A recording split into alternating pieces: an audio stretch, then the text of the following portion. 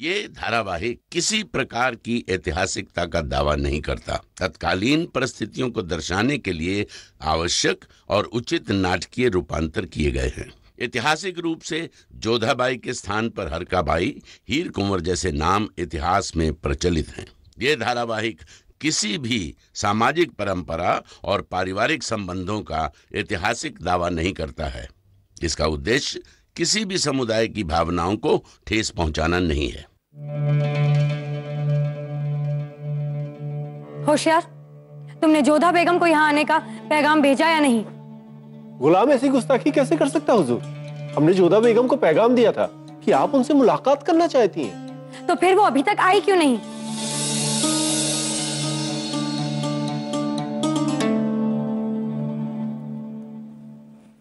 प्रणाम रुकया बेगम आपने हमें याद किया? हाँ बेगम जोधा। आइए तशरीफ़ रखिए। हम आपसे कोई ज़रूरी गुफ्तगु करना चाहते हैं। आइए।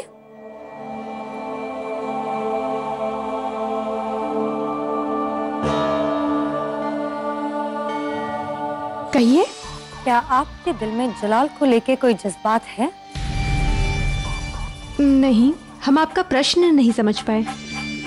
चलिए हम सीधे सीधे आपसे पूछते हैं। अब जब सब जान चुके हैं कि आप जलाल के बच्चे की माँ नहीं बनने वाली हैं तो क्या आपको इस बात का अफसोस है कि आप जलाल के बच्चे को जन्म नहीं देने जा रही हैं? हमने जलाल की आँसू भरी आँखें देखी और आपकी भी आँखें देखी, जो जलाल को एक तक देखे जा रही थी, जिनमें जलाल के दर्द के लिए दर्द उमड़ा हुआ था। कहीं इतने दिनों के साथ की वजह से आपको जलाल से मोहब्बत तो नहीं हो रही है? कहीं आपको उस रात का अफसोस तो नहीं हो रहा कि उस रात जलाल ने आपको छुआ क्यों नहीं? एक साथ आपके मन में बहुत सारे प्रश्न उमड़ गए हैं रुकया बेगम। सच कहें तो हमें बहुत प्रसन्नता है कि शहंशाह ने अपना वचन निभाया और हमारा मान रखा। हाँ भरी सभा में उन्हें इतना भावुक देखकर हमें भी दुख हुआ। और ये भी सच है कि कदाचित अब हमें उनसे घृणा नहीं है, क्योंकि उन्होंने अपना कर्तव्य निभाया। हमें कलंकित होने से बचाया और भरी सभा में हमारा मान रखा, और इसके लिए हम उनके आभारी हैं। परंतु हमारे आभार को प्रेम समझने की आप बहुत बड़ी भूल कर रही हैं, रुकया बेगम। हमें तो इस बात की प्रसन्नता है कि आज भी वो हमारे निकट नहीं है, बल्कि आपके सबसे अधिक निकट है। चलो अच्छा है। हमें लगा था कि आपको जलाल से मोहब्बत हो गई है।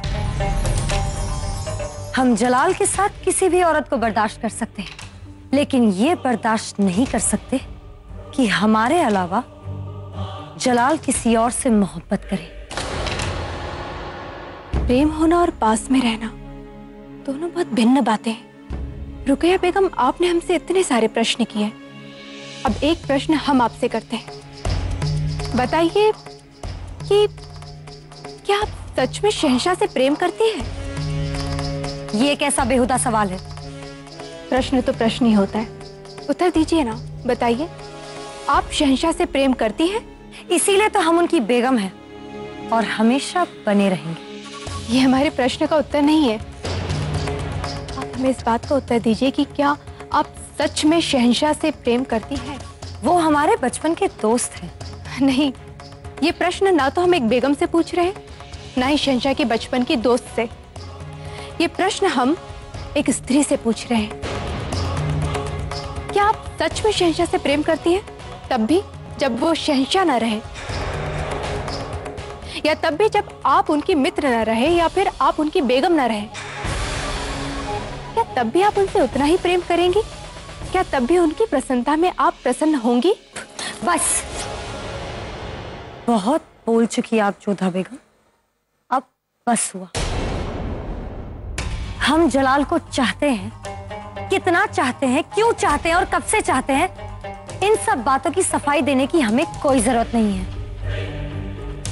ना ही आपको और ना ही अपने आप को। आप जा सकती हैं।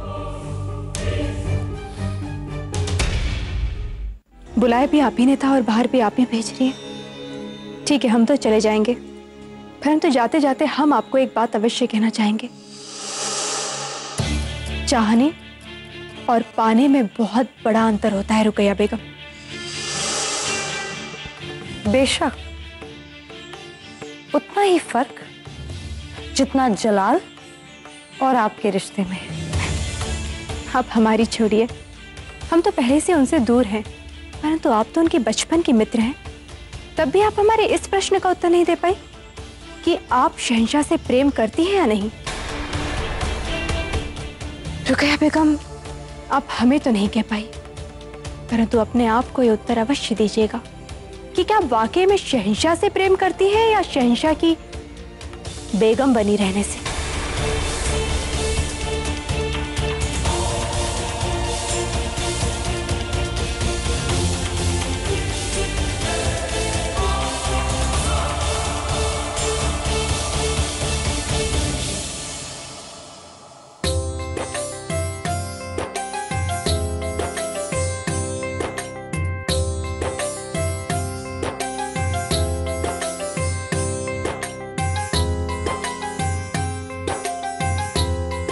क्या? सुबह सुबह यहाँ खेल रही हो?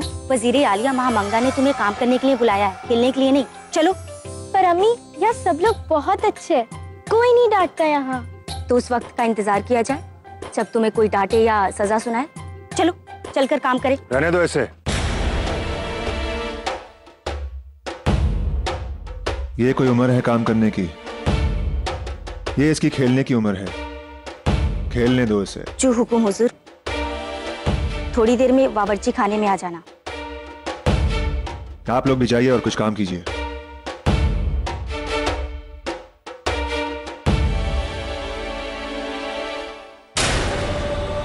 क्या बात? ना गले में कोई हार ना कलाइयों पे कंगन या चूड़िया? हम बांदिया है। हमारे पास ऐसे जेवर कहाँ होते हैं? एक काम करो। हमारे साथ हमारे हौसले में चलो। ज़रूरी काम।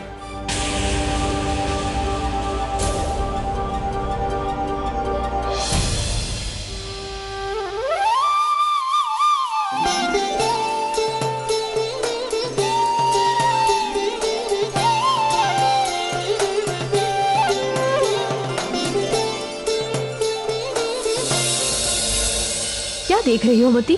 कितना निर्लज है ये आदम खान जोधा। छोटी सी बालिका पर भी कुछ दृष्टि है इसकी। ये क्या कह रही हो तुम? हो सकता है ऐसा कुछ ना हो? नहीं जोधा। आदम की दृष्टि और सोच दोनों का हमें अनुभव है। बालिका हो या युवती, इसके लिए केवल उपभोग की वस्तु है। इतना क्षणित है ये। वो देखो, वो बालिका उसके पीछे पीछे जा रही है। अभी उसकी माँ को इसने ये कहकर भेजा कि बच्ची है, उसे खेलने दो। और अब वो खुद उसे लेकर क्यों जा रहा है?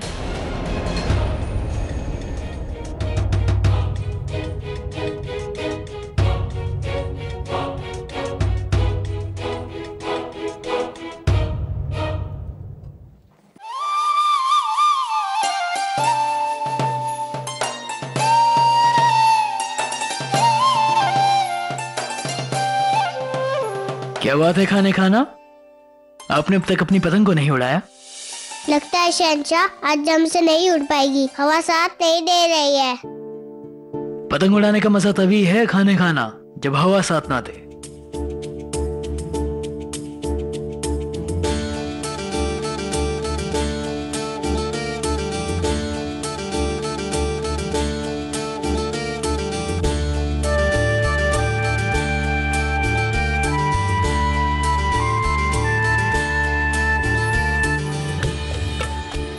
समझ में आया कि शहनशाह इतने बड़े साम्राज्य की बागडोर को कैसे संभालते हैं? जो पतंग की डोर इतने अच्छे से संभाले, वो हर डोर को संभालना जानता होगा ना? ये लीजिए रही।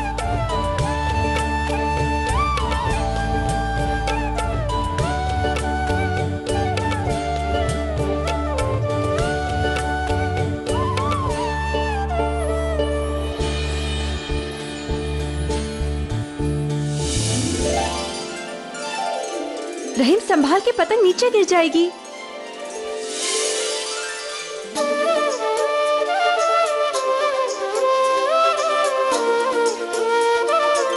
अब आगे से ध्यान रखना।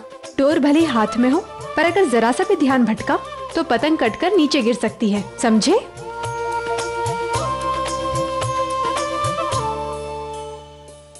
बहुत खूब जोधा बेगम हवा का मजाज अच्छे से समझती हैं आप। हमने सुना है कि आप परिंदों को उतना ही चाहती हैं। पर आप क्यों पूछ रहे हैं हमसे ये? बस यूँ ही। सोचा परिंदों को छोड़कर हमारे पास आने का सबब क्या होगा? या फिर आप हमें उनसे ज़्यादा चाहने लगी या फिर आपको हमसे कोई बात करनी है जो आपको हमारे पास आने का बहाना ढूंढना पड़ा? आपके दोनों ही अनुमान ठीक नहीं है। और वैसे भी बेगम है हम आपकी। आपसे बात करने के लिए हमें बहाना ढूँढने की क्या आवश्यकता है? कहिए क्या कहना चाहती हैं आप?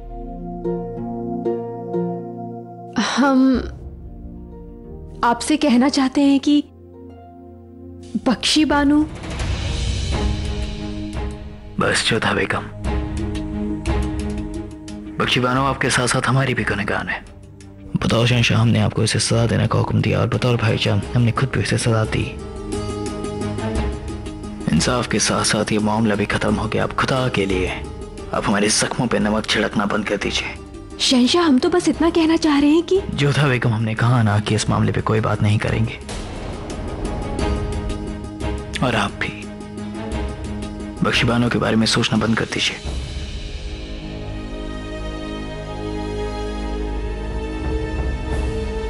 चोटिया में फिर से पतंग नीचे जा रही है।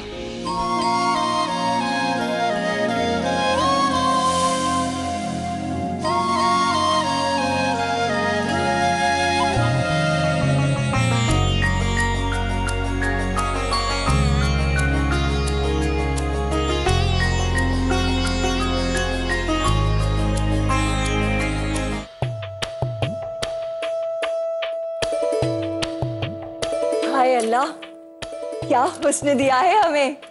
कोई भी जेवर डालो चर्च के बाहर आता है। जावेदा बस करो। इतना भी मत निहारो खुद को। नज़र लगाओगी क्या? हाय अल्लाह। आदाब। आदाब? हाँ बोलो क्या काम था? सुबेदार हुजूर ने मुझे यहाँ बुलाया है। अच्छा। अच्छा सुनो एक बात बताओ कि हम कैसे लग रहे हैं? जी बेहद खूबसूरत। वो तो हम जानते हैं। अगर हमारे शोहर का भी रंग हमारे जैसा साफ़ होता ना तो क्या बात थी। अपनी अम्मी जान पे गए हैं ना वो तो उनका रंग भी थोड़ा सावला है। पर अब क्या करें? मोहब्बत में तो ऐसे ही होता है। कर बैठे उनसे। ये लो आ गए हमारे सूबेदार साहब। ये लो तुम्हारे लिए। जी मैं ले लो ले लो बेटा। इतनी मोहब्बत से जो दे रहे हैं शुक्रिया। आप दोनों बहुत नेक हो। जब जी चाहे चली आना और तकलीफ़ हो तो बोल देना। आदाब।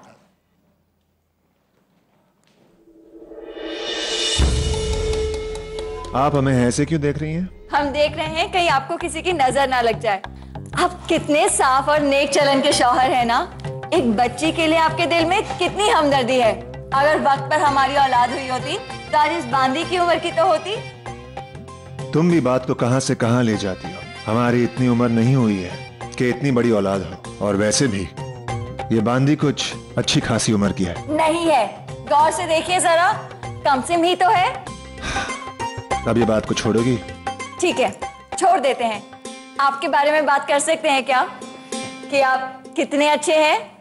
इसीलिए जब आपने हमारा हार उस बांदी को दिया तो हमने कुछ नहीं कहा। आपकी रहम दिली से तो हमारी आँखें ही भर आई। खुदा आपके जैसा शोहर हर किसी को दे। एक कमसिम लड़की के लिए आपके दिल में कितनी हमदर्दी है।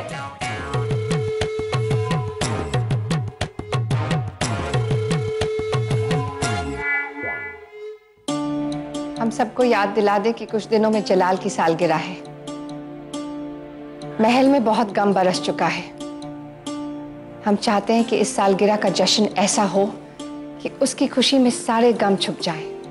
पहले रुकैया बेगम का बच्चा गिरा फिर जोधा बेगम को ज़रिया बनाकर जलाल की उम्मीद तोड़ी गई। अब हमारी कोशिश रहेगी कि जलाल बीती हुई बुरी यादों को दफन करके आने वाले कल की खुशहाल रोशनी को महसूस करें। मलिका आज़म से हम इतफाक रखते हैं। आप बेफिक्र रहिए तैयारी में कोई कमी नहीं छोड़ी जाएगी। रुकैया बेगम हम उम्मीद करते हैं कि हर साल की तरह इस साल भी आप जलाल के लिए कुछ खास कुछ नया करेंगी। आप फ़िक्र मत कीजिए। हम कोई कसर नहीं छोड़ेंगे। और हाँ आप लोग सब भी हमेशा की तरह शहनशाह को उनका मनपसंद तोहफा ही दीजिएगा। बेशक सब कुछ हर साल की तरह ही होगा। सिवाय एक चीज़ के।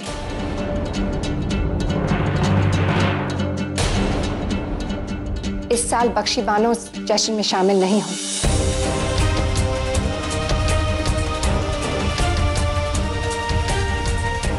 लेकिन भाभी जान। मलिका आज़म बजा फरमाती ये जश्न हम शहनशाह की खुशी के लिए कर रहे हैं। बख्शी बानो की वहाँ मौजूदगी शहनशाह को परेशान कर सकती है।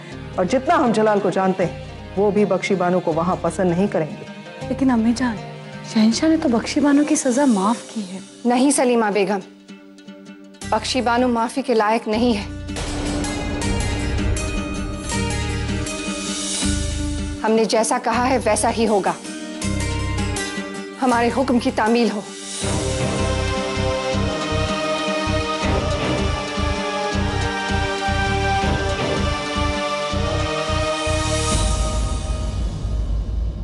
अम्मी जान अम्मी जान अम्मी जान अम्मी जान आज हम बेहद खुश हैं। और हम बिल्कुल खुश नहीं है जाविदा। आप भी हो जाएँगी जब आप हमारी खबर सुनेंगी। आसमान से सोना बरस रहा है। उससे भी बेहतर अम्मी जान आज हमने आपके बेटे का एक अलग ही चेहरा देखा। बिल्कुल नेक दिल। आपको पता है उन्हें बच्चों से कितनी मोहब्बत है। हाय अल्लाह कहीं उन्हें हमारी ही नज़र ना लग जाए। कितनी मोहब्बत से उस लड़की को देख रहे थे वो। कौन सी लड़की? तस्नीम वो बांदी की लड़की। उस बेचारी का सूना गला देखकर उनकी तो आँखें ही नम हो गईं। और उन्होंने हमारा कीमती हार उसे दे डाला। इतनी मोहब्बत से देख रहे थे मानो उसे हासिल करना चाहते हो। क्या मतलब जाविदा? आधा हम क्या हासिल करना चाहते थे? ओहो अम्मी जान हमारे लिए हासिल करना चाहते हो। लगता है आदम साहब को ये महसूस हो गया है कि अब हमें एक बच्चे की ज़रूरत है। हाय अल्लाह। हमारे शौहर हमारा कितना ख्याल रखते हैं। तो लड़की दिखने में कैसी थी? हमारी तरह बेहद खूबसूरत बिल्कुल शबनम की तरह शफाक। और आदम उस लड़की को बड़े गौर से देख रहे थे। मोहब्बत से जैसे कभी वो हमें देखा करते थे।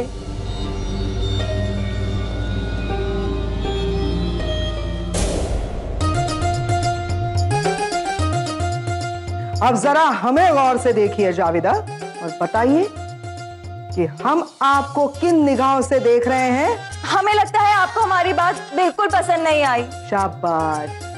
ज़िंदगी में पहली बार आपने समझदारी की बात की है। सची? अब जाइए अपना दिमाग सेवैयों में लगाइए। जी हाँ आज हम बेहद प्यार से सेवैया बनाएँगे। आज तो इतना खुशी का मौका है। या अल्लाह आज की सेवैया देखना जरा। आखिर एक बांदी की इतनी छोटी उम्र की लड़की को हर तोहफे में देने के पीछे आदम का क्या मकसद हो सकता है? एक बात पूछें आपसे? पूछो। आपकी दुश्मनी किससे है? शहनशाह जलाल से या बेगम जोधा से? शहनशाह और बेगम को अलग करके आपको गद्दी तो मिलने वाली नहीं थी ना ही कोई सियासती फ़ायदा दिखाई दे रहा था। फिर आपने ऐसा क्यों किया? ये तुम्हारे जानने की बात नहीं है। क्योंकि ये सिर्फ़ हम जानते हैं कि हमसे क्या वायदा किया गया था। आमिर और उसकी राजकुमारी जोधा।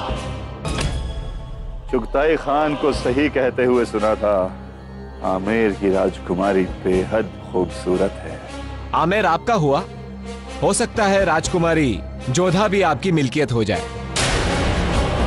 सुना है खूबसूरत होने के साथ साथ बहुत तेज दिमाग भी है।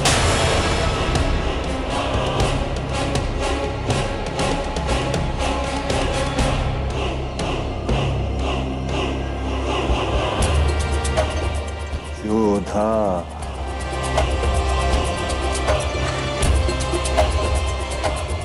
नाम में ही कुछ बात है।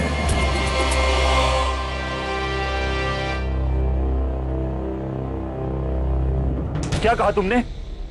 चौधा की मंगनी तय हो गई। किससे? भानपुर के राजा सूर्यभान सिंह से। सूर्यभान। और मौका मिलते ही हमने सूर्यभान का सर कलम कर दिया। और उसके तीनों भाइयों को कैद में रखा। और जोधा को अपनी बेगम बनाने का ख्वाब देखने लगे। जोधा सिर्फ़ हमारी ही बेगम बन सकती थी। खबर पक्की है। शहनशाह जोधा से निकाह करने वाले हैं। नहीं!